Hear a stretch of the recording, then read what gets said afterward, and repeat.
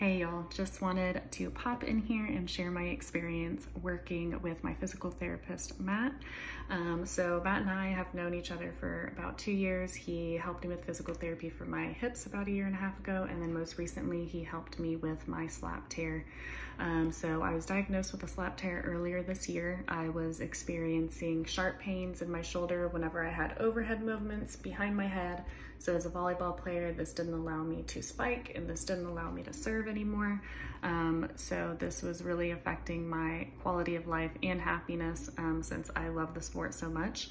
Um, so I reached out to Matt. Um, we started with an assessment, which he always does a mobility and strength assessment um, on both sides of the body.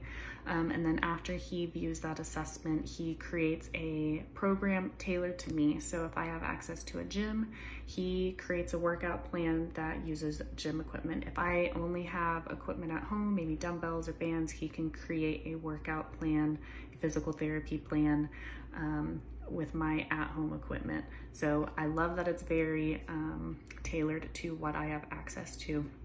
Um, my experience working with Matt has always been great. Um, so I love the customizable program, but I also love the support he brings. Um, if I ever have questions about form, I can send him a video at any time um, and he can he sends me a video back correcting um, the movement I'm doing.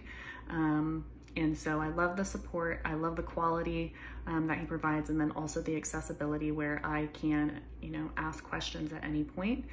Um, so I did physical therapy with him for eight weeks for my shoulder. Um, I would say week three to eight, um, I was stronger than I ever was. So I had increased shoulder stability. Um, at week five, I was able to return to sport normally. So I was hitting harder than I have in years. I was serving harder with more stability than I have in years, and I had no pain. Um, so it was a joy to return back to volleyball without having to go the surgical route. Um, and overall, I just have always had a great experience with Matt. He provides great great care, great quality, great support, great accessibility, and it is tailored to my needs, which I love. So I would highly, highly recommend him and his services to anyone.